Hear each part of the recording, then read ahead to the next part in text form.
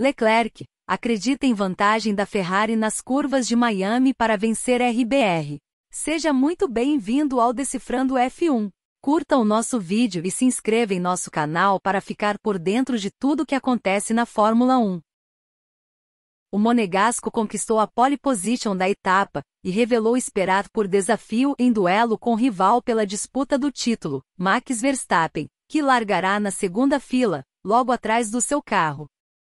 Eles são extremamente rápidos nas retas. Nós somos rápidos nas curvas. Amanhã será um desafio e tanto. Será muito difícil se eles estiverem perto de nós, mas temos essa vantagem nas curvas. Esperamos que estejam muito longe para ter oportunidade de nos ultrapassar nas retas. Assim, avalia o piloto monegasco. O Autódromo Internacional de Miami possui um total de 19 curvas, podendo ter a velocidade que vai de 60 a 300 km por hora. E você?